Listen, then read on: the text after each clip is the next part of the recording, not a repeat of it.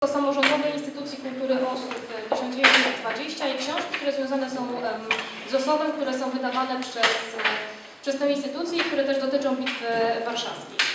Następnie mamy Stowarzyszenie Rzeczpospolita e, Norwidowska i panią Grażynę i Józefa Kapaonów, którzy dzielnie promują obecność e, Norwida w naszych, e, na, naszych stronach i którzy również wydają publikacje dotyczące Norwida i Również momencie jest dostępna ich książka e, dotycząca historii rodziny KPO tutaj na naszym terenie. Następnie Towarzystwo e, Przyjaciół Kobyłki, pan Andrzej Zbyszyński, pan Mirosław e, Bujalski i ich książki, które od wielu lat wydają, próbując historię Kobyłki. Następne stoisko to Towarzystwo to Towarzystwo Przyjaciół Zielonki i pani Magda Chmiedziewicz.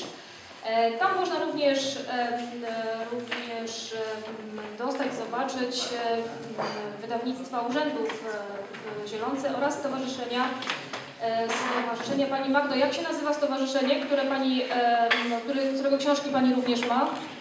Stowarzyszenie Porozumienie dla Zielonych. Stowarzyszenie Porozumienie dla Zielonych. Zielony, miasto i e, Obok Pani Magdy i obok e, Zielonki Marek Rogusz.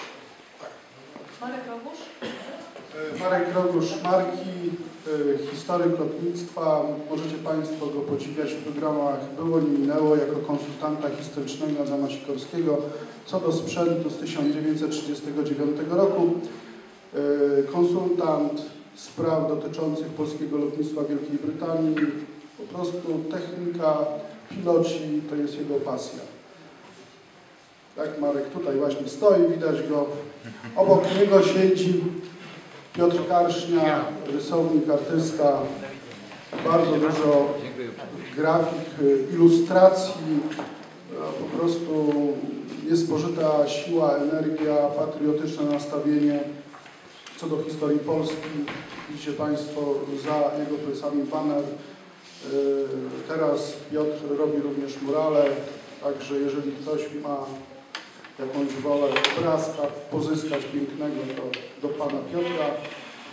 Obok stoisko Towarzystwo Przyjaciół Radzymina. Jan Wnuk yy, i publikacje Dzieje Radzymina, najnowsza książka sprzed dwóch, półtora roku, yy, bardzo ciekawa, przedstawiająca dzieje miasta na przestrzeni wieków. Prawa miejskie 1475 rok.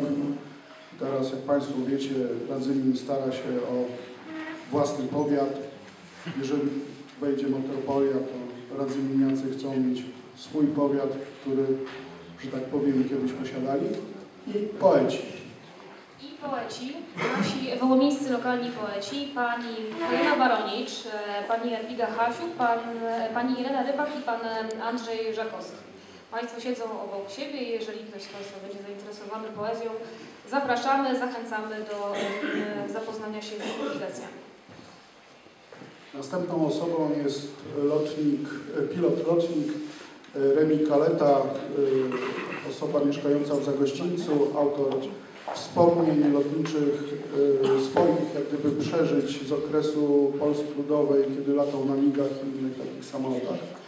Także chcielibyśmy tutaj też podkreślić, jak gdyby ten zapał do zachowania historii, bo kolejny stolik to jest tutaj e, ten oto młody pan za fotografią schowany, Gołębieski Tomasz, Gołębiowski, Klębów i opracowanie dotyczące swojej rodziny. W tym opracowaniu znajdują się informacje innymi o Władysławie Korsaku. Proszę Państwa, za tymi budynkami jest ulica Korsaka. To był pierwszy starosta powiatu radzymińskiego od 1919 roku. Następnie był wiceministrem e, spraw wewnętrznych i dzierżył nadzór nad samorządem terytorialnym. Po II wojnie światowej znalazł się w Stanach Zjednoczonych. Jego teczka jest w Instytucie imienia Józefa Piłsudskiego w Nowym Jorku. Obok, jeżeli się wychylę, stoisko e, Michała Szulima, którego mama dzielnie tutaj reprezentuje. Michał Szulim jest znany Państwu być może jako artysta śpiewający w zespole Plateau. E, Natomiast jest również dziennikarzem radiowym oraz podróżnikiem. I książka, którą e, prezentujemy dzisiaj, to jest książka podróżnicza. Również zachęcamy do, do zakupu książki. E, Następnie po lewej, po prawej mojej e, mamy, obok Tomka mamy e, stoisko tłuszczańskie, a więc jest e, Stowarzyszenie Ro- Rodu Kielaków Sierpa. Witamy Panie przedstawicielki stowarzyszenia. I książka Stanisława Kielaka, Tłuszcz, Miasto, Osada, taki, taki początek. Każdy, kto chce badać historię tłuszcza, w zasadzie od tej książki zaczyna. A obok pani ze Stowarzyszenia Rodu Kielaków e, Sierba stoisko Urzędu e, Tłuszczańskiego, Urzędu Gminy w Tłuszczu. Niestety nie można tych książek kupić, natomiast można zobaczyć, e, czym się Gmina Tłuszcz chce pochwalić, jeśli chodzi o ich działalność wydawniczą. Następnie nasze stoisko, czyli stoisko fabryczki, nasze publikacje wydawane przez kilka ostatnich lat oraz wydawnictwa IPN-owskie.